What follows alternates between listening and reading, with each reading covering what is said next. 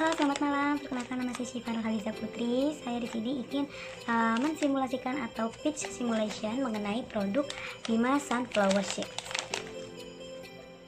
Yang pertama, uh, Bima Sunflower Shake ini adalah kuaci biji bunga matahari yang di mana uh, dia ini adalah olahan biji-bijian yang dikeringkan dan diasinkan serta menjadi cemilan yang sangat lezat dan juga sehat. Oke, okay. uh, masalah kuaci pada umumnya yang itu uh, biji yang pahit, terus dia juga kadang suka busuk, terus uh, kadang kuaci-kuaci uh, kemasan lainnya itu uh, dia menggunakan zat berbahaya seperti formalin. Uh, potensi kuaci kemasan dari Bima Sunflower Seed ini yaitu uh, kuacinya dapat uh, Kuaci ini dapat uh, memenuhi kebutuhan zat besi dalam tubuh, terus juga sudah menjadi komoditas cemilan uh, paling utama di masyarakat. Pasti kalian juga pernah kan yang namanya lagi ngumpul-ngumpul, lagi begadang makan kuaci. Oke, terus uh, selanjutnya uh, kuaci Bima ini dikenal memiliki kandungan uh, kandungan uh, yang banyak akan vitamin E. Gitu. Dia itu memiliki slogan simple, happy dan juga healthy. Karena dia juga banyak vitaminnya dan juga menggunakan bahan-bahan alami.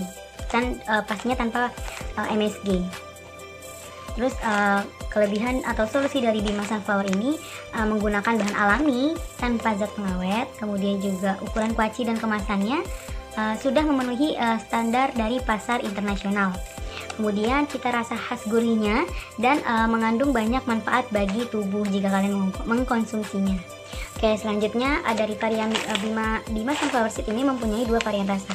Yang pertama ada sea salt asin gurih dan yang kedua itu rasa original. Oke, timeline perusahaan. Kalau saya akan menjelaskan mengenai timeline perusahaan dari Bima Sunflower ini. Pada tahun 2014, kami memulai usaha pada bulan November. Kemudian pada tahun 2012, kami mendapatkan izin dari PIRT Kemudian pada tahun 2016 uh, kami mengadakan pameran di Hong Kong, pameran di TI pada tahun 2012 dan mendapatkan izin halal. Oke, okay. kami sudah memiliki izin halal MUI Indonesia.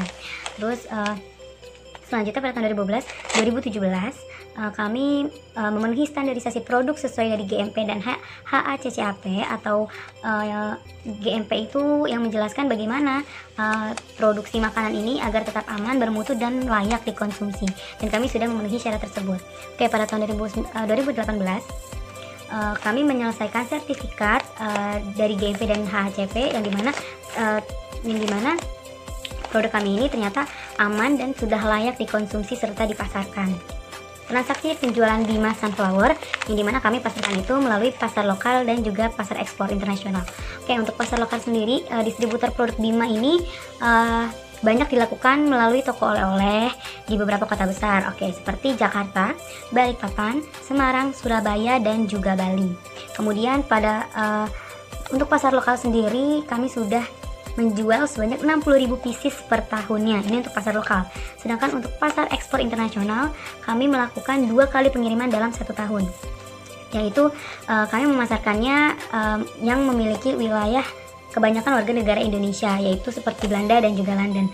Untuk pasar ekspor, uh, ekspor sendiri kami rata-rata uh, penjualannya itu sudah mencapai 80.000 per pieces eh 80.000 pieces per tahunnya. Oke. Okay lanjut untuk uh, kenapa kami melakukan pitch simulation seperti ini karena kami uh, mengajak untuk para uh, investor agar berinvestasi kepada perusahaan kami. Nah, adapun rincian dari kebutuhan investasi kami yaitu sebesar 1,5 miliar.